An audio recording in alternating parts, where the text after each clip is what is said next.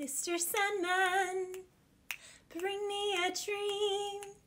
All right, so back to our regular scheduled programming. Uh, this is a collective message. Uh, my last video was a health video talking about my experience with EOE, esophageal dilation, um, gut issues, all those things, skin problems. Uh, I talk about my healing process. If you deal with any of those issues or anyone that you know deals with those issues, I highly suggest you go check out that video. It's highly informative. Okay, so now to our uh, channeled messages. So I was channeling Mr. Sandman. Um, these are all from my bike ride tonight. That's when I channel the most is when I'm riding my bike. So I literally will be like cycling 30 to 50 miles and I will literally stop and do like a voice recording on my phone so that I remember all these things. But Mr. Sandman was coming through and it's Mr. Sandman, bring me a dream. Um, so basically, she's asking for a guy, she's asking for a man. Now, it's funny because then I was also hearing a magic beam, and then I was hearing magic stick. I got the magic stick. Okay. Um, then I was hearing an ultralight beam, and then something here with beams in general. So, like buildings, beams, headlight beams, new car, new car, very noisy. Dun, dun, dun. Okay okay, I don't know what song that is, um, but I'm hearing that rap song now. New car, very noisy. So someone here, congratulations on your new, very noisy car. Um, okay, but an ultralight beam it's by Kanye, and he says um, in that song, "I'm no longer afraid of the dark because I look to the light." Now, now I'm channeling uh, "Are You Afraid of the Dark?" the '90s TV show, also Goosebumps. I get those goosebumps every time. Okay, but no, actually the show Goosebumps. Um, neon lime green could be the color of the season. This is kind of like a seafoam green. Um, Mercari I love secondhand websites. That's where I get all my clothes. All my clothes are secondhand. Anywho, um, neon lime green, lime green, green, green, line, lime green. Okay, lime green. Okay, Valerie, let's not switch that up. Uh, uh, now I'm hearing you put the lime in the coconut and drink it all up. So someone could be drinking. Is that maybe like pina coladas? If you like pina coladas getting caught in the rain. Someone here, be cautious. You could be going somewhere, traveling somewhere, and it's gonna rain, somewhere like tropical with a beach. Okay, but in the song Ultralight Beam, it's about Kanye's relationship with God. And in it, he says, I'm no longer afraid of the dark because I look to the light. I'm no longer afraid of the night. I look to the light. Um, so someone here used to be maybe afraid of the dark, used to have night lights, things like that. I know I used to, but I don't anymore. A lot of that switched out for me when I did a two-year-long shamanic practitioner program. Although with my heritage being Hungarian, um, I actually am a Taltos, which is different than a shaman, but same, same, but different basically working in the dark with eye covers and things like that. So someone here needs to get to know the darkness within and needs to get to a place of I'm hearing you do too much going out, not enough going in. That's a Big Sean song. but basically, someone here is always outside, outside, outside.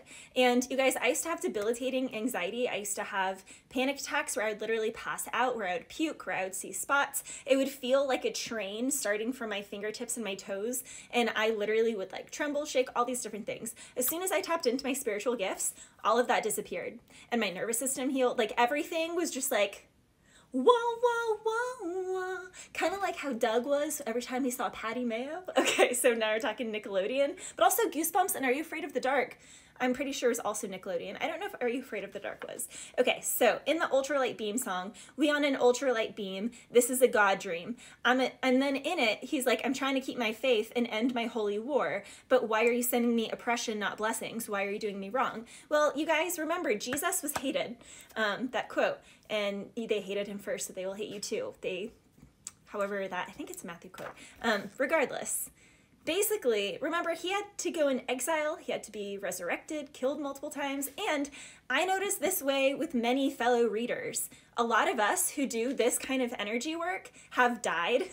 or come very close to dying multiple times, not just once, not just twice. For me, it's like eight or nine times. And every single time, my gifts, my clairs, clairsentience, claircognizance, clair, um, I smell things, I taste things, all of it is stronger each time. But it's only when I get closer and closer to that veil and when I cross that veil. And it's the same for a lot of people. Um, so a lot of people doesn't make sense. Well, it's probably because you've not died and come back to life. So you can't understand, but that's okay because your dharma is different than mine.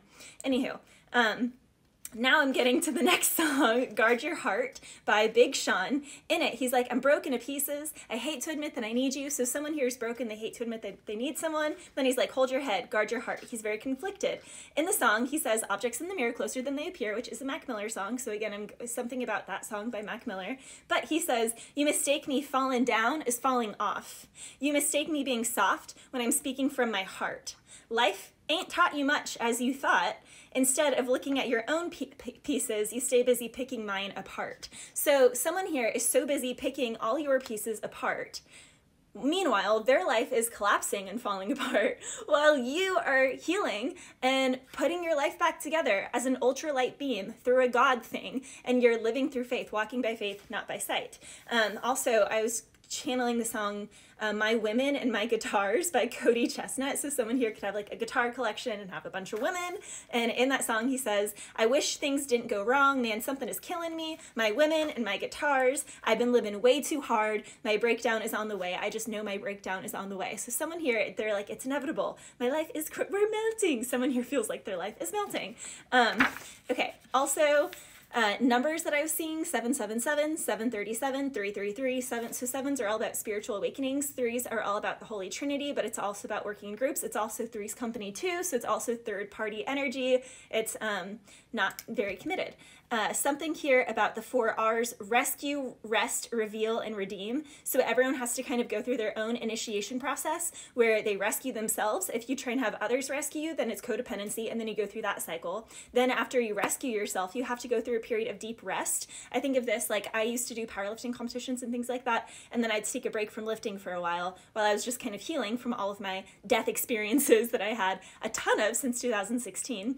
And I needed that time to really really rest and reveal what God wanted to reveal about the purpose in my life. And I also, I had a photography business for like, I don't know, like two decades essentially. Had to put that on hold for a while too. But this year, I'm getting back into my photography alongside this. So now I'm revealing and redeeming everything that I've learned through um, rescuing myself and resting and going through that process. Everyone goes through that process at different phases. Uh, also, something here so I always talk about the Bermuda Triangle of health. You are only as strong. It's your physical health, your emotional health, and your spiritual health. And you're only as strong as the lowest of those three totems. So someone here can feel, um, well, basically one someone here, their box is like a cardboard box. And when you put too much stuff in a cardboard box, what happens? The bottom falls out. So some people in the light working world, you know, they're emotionally empathic, they, they're spiritually inclined, but they're not lifting heavy weights. They're not getting physically strong. So then they have autoimmune issues, all these health issues, all these debilitating things that plague their physical body because their physical body is a flimsy cardboard box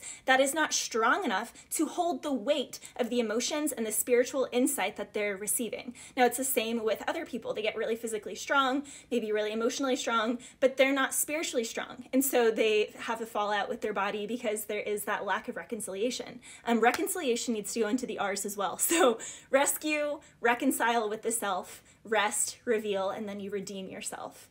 Um, I think that's all I'm going to do for this one because it's already long. Um, someone here, mm, no limits. So you have no limits. The the sky is the limit. Um, throw it up to the sky. Bless you.